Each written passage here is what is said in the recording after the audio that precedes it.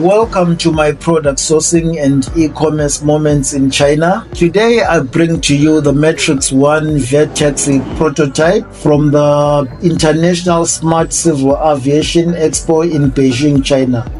This aircraft is a five-seater a vertical takeoff aircraft which can be converted for cargo purposes compared to other drones that I've seen at this event, I can say this stands out as a big aircraft. But although we have competitive drones, and in this event, I wanted to show you what the future of drones is going to be like. So I'll continue showing you other drones which I haven't shown you yet and other aircrafts that I haven't shown you yet that can be used for commercial and domestic purposes.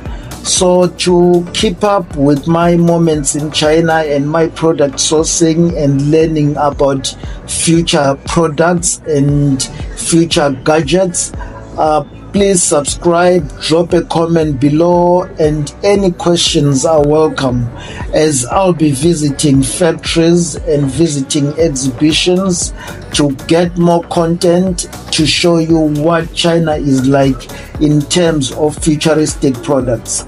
Thank you for watching.